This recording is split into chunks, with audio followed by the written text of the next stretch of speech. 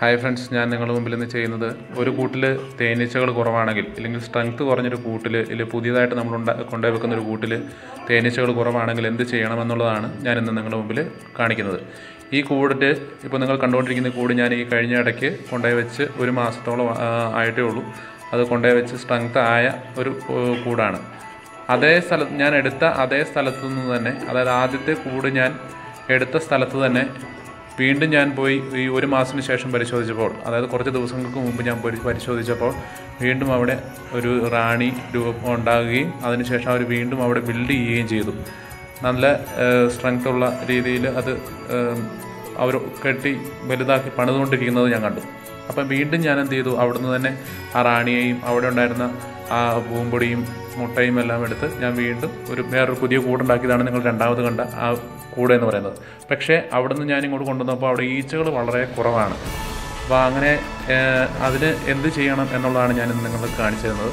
അപ്പോൾ ഞാൻ എന്റെ വീടിന്റെ അടുത്ത് നിന്നും വീണ്ടും കുറച്ച് ദൂരത്ത് നിന്ന് പോയിട്ട് ഞാൻ ഏകദേശം ഒരു അഞ്ഞൂറ് അറുന്നൂറ് ഒരു കിലോമീറ്റർ ദൂരത്തിന്റെ ഡിസ്റ്റൻസിൽ ഉള്ള ഒരു കൂട്ടിൽ പോയി. അവിടെ നിന്ന് ഇതുപോലെ ഒരു കുപ്പിയിൽ നമ്മളെപ്പോഴും കരുതേണ്ടതാണ്. ഇങ്ങനെ ഒരു കുപ്പി കരുതേണ്ടതാണ്. ഈ ഒരു കുപ്പിയിൽ കുപ്പി കൊണ്ടുപോയി അതിന്റെ വാവട്ട വായ വാവട്ടം ആ അതിന്റെ എൻട്രൻസിനോട് ചേർത്ത് വെച്ച് മുട്ടി അതിനുള്ള ഈച്ചകളെ ഞാൻ ഈ കുപ്പിയിലേക്ക് ശേഖരിച്ചു ശേഖരിച്ചതിന് ശേഷം അതിനെ കൊണ്ടുവന്ന് എങ്ങനെയാണ് റിലീസ് ചെയ്തത് അത് എങ്ങനെയാണ് ചെയ്യേണ്ടതെന്നാണ് ഞാൻ നിങ്ങൾക്ക് കാണിച്ചു തരുന്നത്. അപ്പം ഞാൻ ആദ്യം പറഞ്ഞതുപോലെ തന്നെ ഞാൻ ആദ്യം ചെയ്ത കൂട്ടിൽ നന്നായിട്ട് അത് ഭയങ്കര സ്ട്രെങ്ത് ആയിരുന്നു. കാരണം ഈ കൂട് പൊളിച്ചപ്പോൾ എനിക്ക് വളരെയധികം മുട്ടകളും കൂടുതൽ തേനും കൂടുതലായിട്ടുള്ള പൂമ്പടികളും എല്ലാം കിട്ടിയിരുന്നു. അത് ഞാൻ കൊണ്ടുവന്ന് വെച്ച് അത് മാക്സിമം ഞാൻ എടുത്തുകൊണ്ടാണ് ഞാൻ പോകുന്നത് അത് കൊണ്ടുപോയി വെച്ചിരുന്നത്. എന്നാൽ രണ്ടാമത് അവിടെ ഉണ്ടാകുമെന്ന് ഞാൻ പ്രതീക്ഷിച്ചതല്ല. കാരണം ഞാൻ റാണിയെ അടക്കമാണ് ഞാൻ കൊണ്ടുവന്നത്. എന്നാൽ രണ്ടാമത് ഞാൻ ഈ ഒരു മാസത്തിന് ശേഷം ഞാൻ അവിടെ പോയി നോക്കി എന്റെ വീടിന് കുറച്ച് ദൂരത്തു നിന്നാണ് ഞാനത് കൊണ്ടുവന്നത്.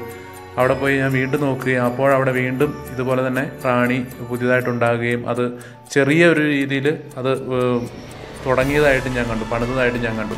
അപ്പോൾ ഞാൻ അത് വീണ്ടും പോയി അതൊരു പെട്ടിയിലാക്കി ചെറിയ പെട്ടിയിൽ അതിന് പറ്റുന്ന രീതിയിലുള്ള ചെറിയ പെട്ടിയിലാക്കി ഞാനതിനെ മാറ്റി. പക്ഷേ അവിടുന്ന് ഈച്ചയില്ല ഈച്ച വളരെ കുറവാണ്. അപ്പോഴാണ് അവിടെയാണ് നമുക്ക് ഈ ഈ രീതിയിലുള്ള പ്രവർത്തനം ആവശ്യമുള്ളത്. ഇതുപോലെ ഈച്ചയുള്ള ഏതെങ്കിലും ഒരു കൂട്ടിൽ പോയി നല്ല രീതിയിൽ ഈച്ചയുള്ള സ്ട്രെങ്ത്തുള്ള കോളനിയിൽ പോയി ഈ കാണുന്ന പെട്ടിയിലാണ് ഈ പെട്ടിയിൽ പെട്ടിയിലാണ് ഈച്ച കുറവ് അപ്പോൾ ഈ പെട്ടിയിലേക്ക് കൊണ്ടുപോയി വിടുക എന്നുള്ളതാണ്. അതെങ്ങനെയാണ് വിടേണ്ടതെന്നാണ് ഞാൻ നിങ്ങളെ കാണിക്കുന്നത്. അവിടുന്ന് ഞാൻ കൊണ്ടുവന്ന് ഇതുപോലെ അതിന്റെ ആ കൂടിന് മുമ്പിൽ കൊണ്ടുവന്ന് പലരും ഞാൻ ചെയ്യുന്നത് കണ്ടിട്ടുണ്ട്. കൂടിനകത്തൊക്കെ തുറന്നു വിടുന്നത് ഞാൻ കണ്ടിട്ടുണ്ട്. പക്ഷേ ഞാൻ സക്സസ് ആയി കണ്ട അല്ലെങ്കിൽ എനിക്ക് സക്സസ് ആയി ഞാൻ എനിക്ക് മനസ്സിലായ ഒരു കാര്യമാണ് കൂടിന് പുറത്ത് തന്നെ തുറന്നു വിട്ടാൽ മതി. അത് അകത്ത് തുറന്നു വിടേണ്ട ആവശ്യമില്ല. അത് റിസ്ക് ആണ്. കാരണം അത് തുറന്നു വിടുമ്പോൾ ഒരുപാട് ബുദ്ധിമുട്ടുകളുണ്ട്. അതിന്റെ അടപ്പ് തുറക്കാനും അതിന് എടുത്ത് വെക്കാനും കുറച്ച് ബുദ്ധിമുട്ടുകളൊക്കെ ഉണ്ട്.